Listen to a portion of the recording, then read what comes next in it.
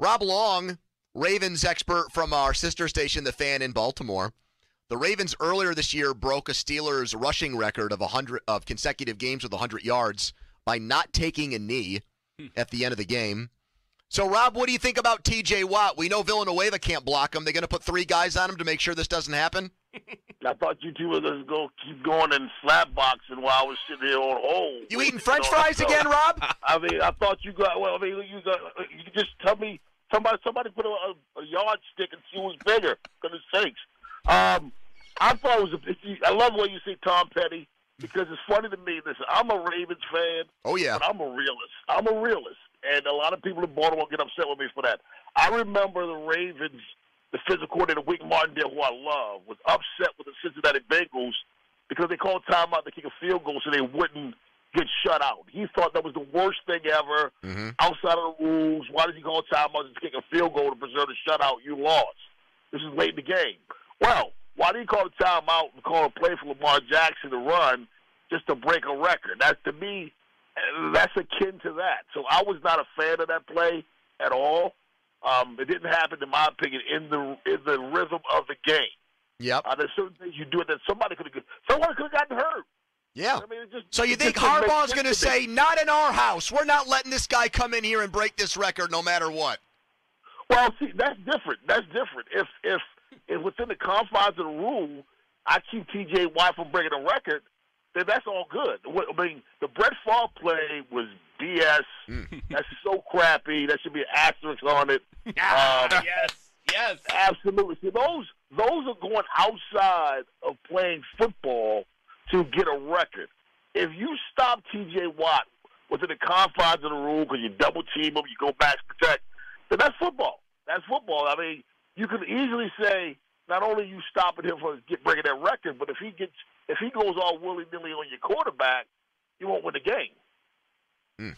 Rob, uh, are Ravens fans because they have an even slimmer chance mathematically? They have to have a lot of stuff happen to get to the playoffs. Are they even treating this like a hey, we got to win and then hope, or are Baltimore fans pretty much checked out in that particular regard?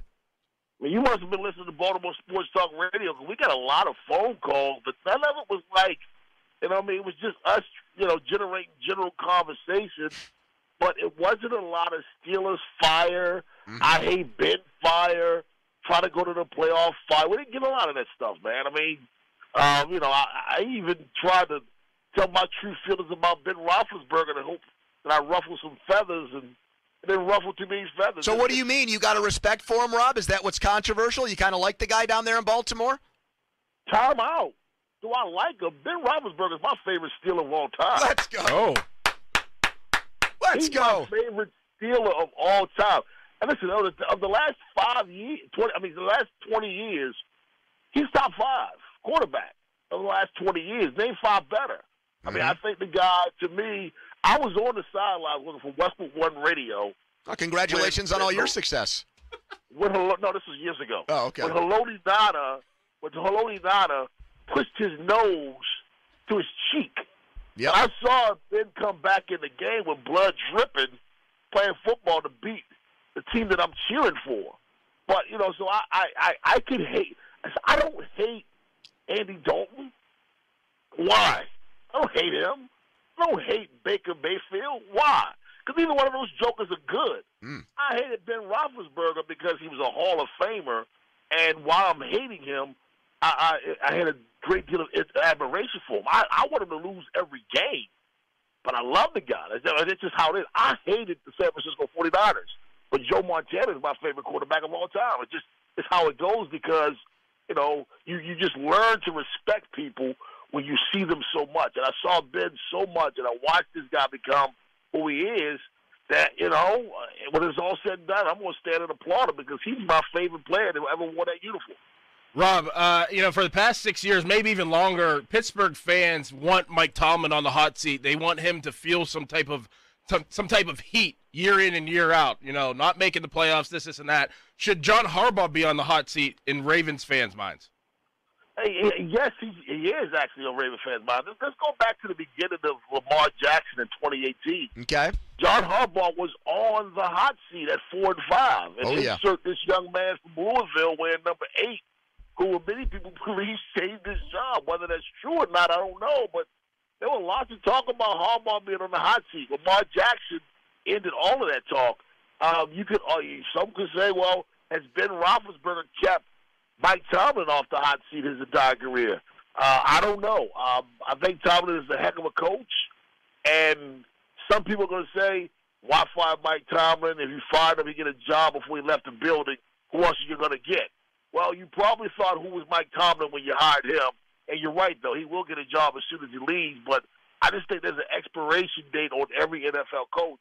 And you're looking at two coaches on Sunday in Baltimore who surpassed a lot of, who lapped a lot of people in expiration dates, probably three or four times. You know, is it the end for for Harbaugh? I don't think it is, but um, they're going to have to make some changes in the off season. In my opinion, change number one will be getting rid of Greg Roman. You bring him back, you're asking for trouble. Because I just don't think I just I think the guy in terms of putting together a offensive game plan. Yep. I don't think he's very good at it. I think I think offensive coordinators often they don't have game plans. They have agendas, meaning this is what I'm going to do in this game. Well, what if the defense does something else? Doesn't matter. This is what we do. That's not a plan. That's an agenda. And I think Greg Roman is one of those guys that goes into every game with an agenda. Talking to Rob Long in Baltimore, the Ravens trying to uh, spoil the fun for the Steelers as they try to win the game and uh, hope that Jacksonville can pull off a stunner and beat the Colts. Friday tailgate brought to you by your local Nissan dealers. So it's not Lamar Jackson, it's Tyler Huntley again at quarterback, Rob. Are the Steelers catching a big break there? Is there this huge fall off from Lamar Jackson to the guy that is going to be under center for the Ravens on Sunday? You know, some people in Baltimore would tell you no because Lamar Jackson is very polarizing in this town for some reason. I'll tell you there is a fall, uh, a fall off. I, I think Tyler Huntley's a guy that they really made the offense really simple for. He's a one read guy, and Okay. he struggles when he has to go progress through the offensive passing game. In my opinion, uh, you saw that before. Uh, you saw it last week. You saw it uh, when when they played the Green Bay Packers and he went for two and he rolled out to the right looking for his tight end, uh, Mark Andrews. When Andrews wasn't open, he forced it in there. He didn't see Hollywood Brown in the back of the end zone. He didn't see a running lane in front of him that had a red carpet to the end zone. He didn't see all of those things because he locked in on the first receiver. Mhm. I think that's what he does, and I think a lot of that is because you heard John Harbaugh after that game with the Packers say, "Well, the play was designed to go to Mark Andrews." Huh? The NFL it's not designed to go to anybody. It's designed to hit the open man. But I think he is running an offense that is hit the first read. It's designed to go here, and I think the the Steelers, you know, being a veteran bunch, much like the, the uh, Los Angeles Rams did in the second half, they'll figure that out. Tyler Huntley had 147 yards passing in the first half. Hmm. He had 50 in the second half. Why? Because they sat on that first read and they made him progress, and he struggled with it. Rob, I know you said this game specifically because both teams are on life support for the playoffs, doesn't have a ton of that Steelers Ravens juice. Do you? I'm looking at a rising team now with the best quarterback in the division, I think, in Cincinnati. You wondering if Steelers Ravens is going to have a little bit less juice for the next couple of years potentially because the Steelers might be down? I, I said this uh, on the show all week. Um, I thought the, the Ravens Steelers rivalry, as we know it, dies a little bit when when when Ben Roethlisberger says goodbye. Because we're who are the real villains right now? I mean, you you don't really have them right now. You got a great player T.J. Watt, but he's not a villain. Um, so I think that a little bit of it, as we know it, it's always going to be Ravens Steelers. I mean, that's just what it is. But the, as we know it, I mean, think about some of the characters on your side. You know, the Joey Porters, the Troy Polamalu, the Hines Wards of the world. You know, How Ben about some of the guys on your side? I know who the legend of the game is, Mr. Ball So Hard University Right. himself. What do you mean, legend of the game? What's that mean? What? Yeah. What does? Being honored. What does that Oh, he's entail being for honored. Terrell Yeah. Suggs? He just they bring him out We're bringing the him out for this game? Yep. Oh, wow.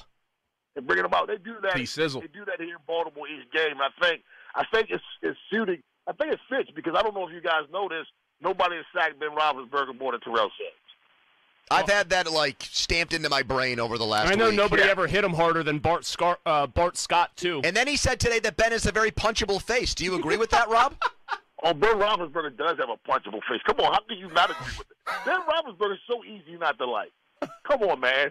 I mean, Yeah, I come on, thought- you I love him. Tackle him. I thought You Fla- I, can't I thought Flacco had a stupid face. He, he looked like Well, he- Bert from Sesame Street. don't. Listen, you think I'm gonna sit here and defend Joe Flacco, you don't know me. Did you just meet me? Did you just meet me? No, I think I put one right in your wheelhouse, Rob. Hey, how hey, how bad is this defense? One stat says they're great against the run, and then the passing stats not so much. So can Roethlisberger come in there and have a field day in his last hurrah? They are good against the run because people don't do it because he fast against them so well. Um, you know that's that that stat is kind of kind of tainted a little bit. You know, yeah. Do they stop the run or do people not run? I don't Okay. know. Um, uh, yeah, they give up a lot of big plays, but I got to be honest with you. Um, I think I think Charles Barkley plays this game on on TNT for pregame for basketball where they have some guy who's playing for a team and they don't know, and Charles Barkley says who he played for. Well, you can give me you can give me the starting secondary for the Ravens and not tell me they play for the Ravens, and I'll ask you well, who we play for. I don't know. Marlon Humphrey's out, Marcus Peters out. It goes on and on and on. Oh yeah, Tavon Young. I go with that one. But these guys, I don't. We don't know who these guys are. Chris Westry didn't even play Hmm. uh, uh, last week, and and three weeks ago, I didn't know who the hell he was. Wow. So I mean, and so it's just like that. I don't know whether or not. I, I think it's probably the pieces that's playing because I don't believe, especially in the NFL, next man up.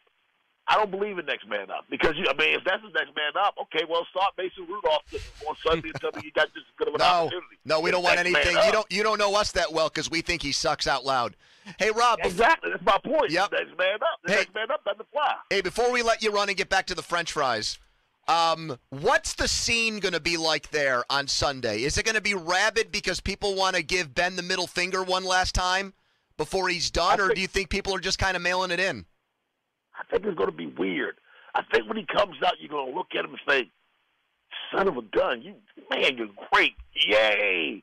But then when the ball goes up in the air, that's when the middle finger comes up. I do. I think that's going to be the sentiment. I think I think Baltimore Ravens football fans are intelligent football fans. They know who number seven is.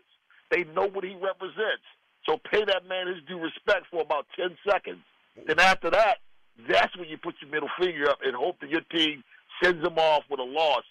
Book in his career. He started his career here in Baltimore, finishing in Baltimore with a loss. Hey, Rob, if we're going to get fries in Baltimore, where's the spot to get them? You you got one you Oh, like? man. I love fries a, a lot of different places. I love Jimmy's famous seafood. They got good fries. I heard that place. Vinegar on them.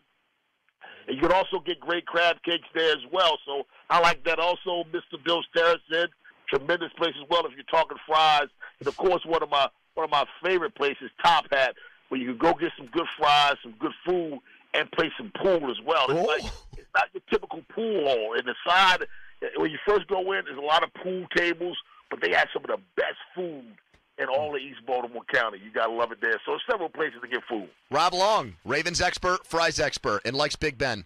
Thank you, Rob. Thanks, Rob. You all have a good one.